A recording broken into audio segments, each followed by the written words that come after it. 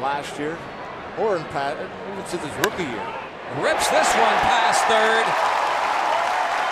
And McCutchen will go to second with a double. Doesn't matter. he'll still pull it. He'll still hit it through.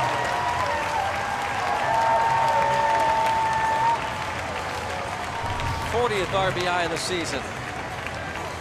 Well, they did try to come in. That's a shock to me. That little 89 mile an hour sinker. They probably wanted it off the plate, left it on. That bat speed, you're going to get the barrel to that pretty much every time. Doesn't matter how hard you're throwing. Nine runs, 11 hits for the Pirates. McCutchen's second hit. A double down the line and left.